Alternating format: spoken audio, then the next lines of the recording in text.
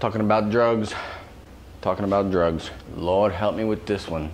Welcome back to another episode of Coffee and Coaching. This is William from fitnessforbackpain.com. If this is your first time here, welcome. If this is your third, fourth, fifth, 11th time here, thank you so much for your support. If you're new here though, make sure you hit subscribe. If you want more in depth coaching and ways you can go even deeper into navigating your lower back pain with exercise, head on over to the website fitnessforbackpain.com.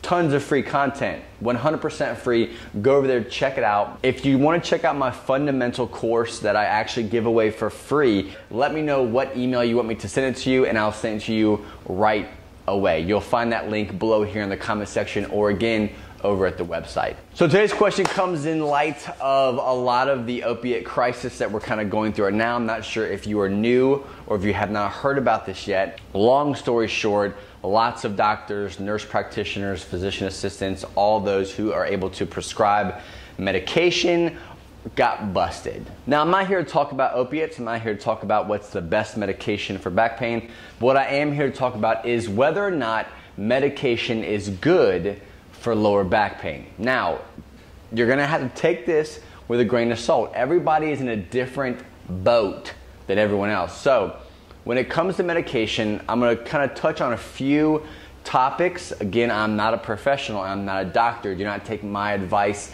when it comes to what you should or should not take as gospel. You always want to meet with your physician, make sure that what you're taking or what you're not taking is the best for you. Now, what I am going to talk about today is whether or not you should be taking some kind of medication as you navigate your lower back pain using exercise. And my main area of focus is really going to be on the Tylenol areas, the ibuprofen areas. Most of the over the counter medication you can take or get from any kind of CVS, Walgreens, or, or kind of like your neighborhood drugstore. Now, I have an opinion on the medication spectrum when it comes to trying to figure out what you should do. There was a time where I was anti everything. I said, you know what?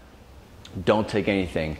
Go as raw as you can, feel the pain, navigate the pain so you have a better understanding of what could be causing it and whether or not what you are doing inside the gym or in your home, whatever you're doing for exercise, is actually working. So fast forward a couple years, a little bit more mature, a little more, uh, I guess, years under my belt when it comes to just utilizing different tools to get to a certain point. Now, if you're at a point now where you're taking lots of prescribed medicine, so your doctor is just giving you lots of medication, you have to navigate that very carefully. Obviously, you've got addiction.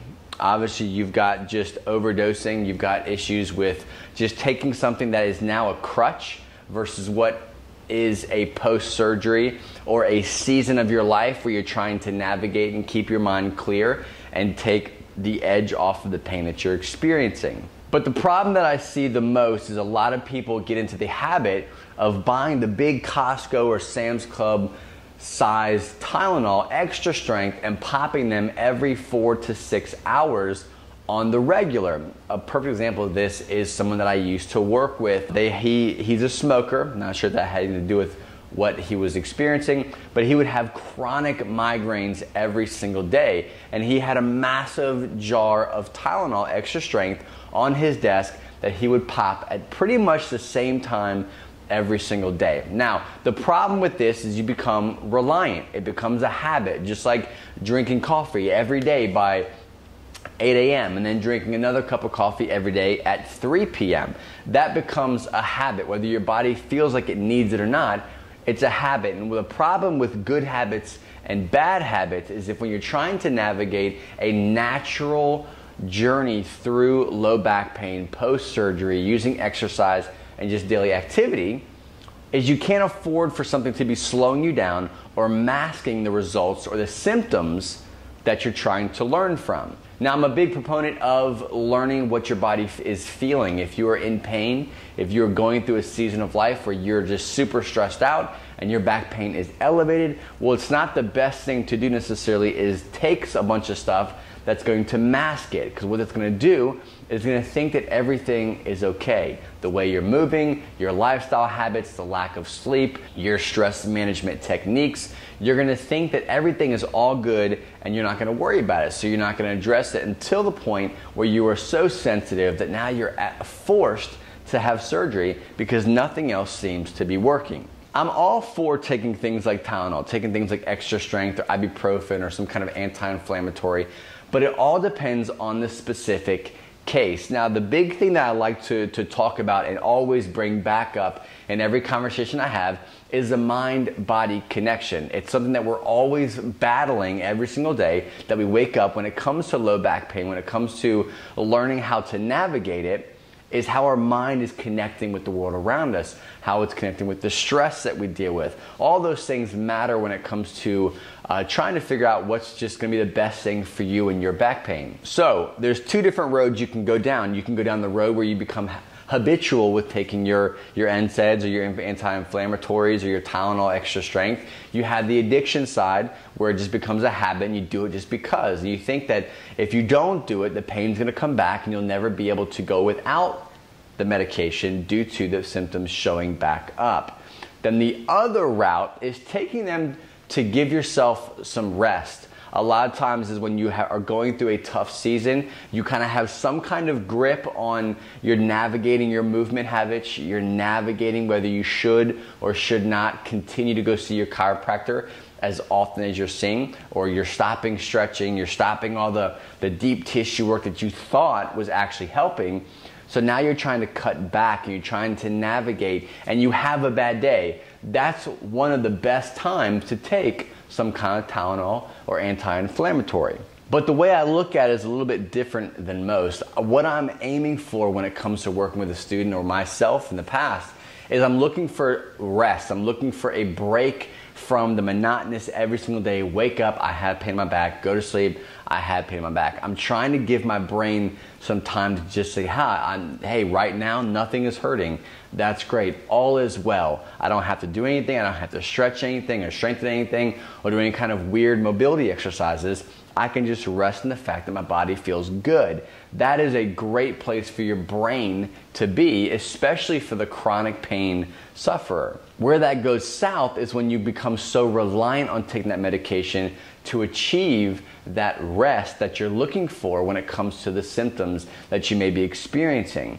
So, the best thing I think, in my opinion, again, this is always my opinion, for anybody dealing with lower back pain, in a sense of where the symptoms are your basic symptoms. You've got chronic pain, you've got chronic stiffness, you've got achiness, nothing crazy. If you've got uh, loss of bowel control, you've got dizziness, you've got loss of feelings from the hip down, these are major situations and you got to go see a doctor for these things. Don't go to YouTube, don't go to Google. Make sure you check out a doctor. But for the basic symptoms that most low back pain sufferers deal with, I encourage a balanced diet of healthy movement, a healthy practice of, uh, of establishing a sound mind, as well as getting out there and being active. Now, during all that stuff, as things unravel, as your body learns what you're doing, as you become more confident, I do believe that over the counter medication can be a huge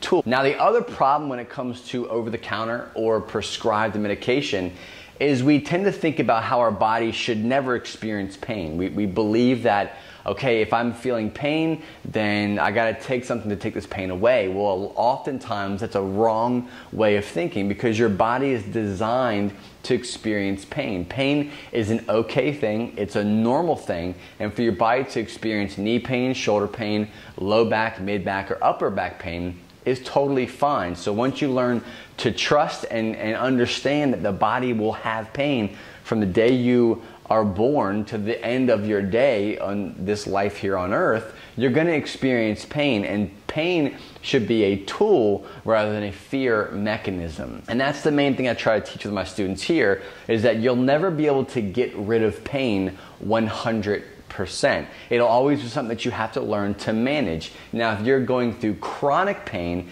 that is your body telling you that something that you're doing or have been doing or have not changed yet is causing some chronic symptoms that I highly suggest that you address. So that's it. That's my opinion on medication and whether we should be taking it when it comes to recovery, when it comes to getting through chronic pain or acute pain. Again, it's all has to be measured on a scale of what works for you and what's helping you ultimately get to the end game, which is getting to the point where you have more control over your pain. Thanks so much for watching, guys. Again, this is William from fitnessforbackpain.com. If this is your first time here, make sure you subscribe. If you want more details on understanding pain, on training around a sensitive back, we have a private membership group that you can jump into. I always link it below in the comment section. If it's something that you think might be a fit for you, check it out. There's no contracts. You can jump in, check out all the content. There's tons and tons and hours and hours of content that walks you step by step through navigating what could be right now your chronic issue that may just be a thing of the past if all you can do is devote some good time, good energy, and good education towards your pain and navigating it the best way possible. Again, thanks so much for watching, guys. I'll see you next week.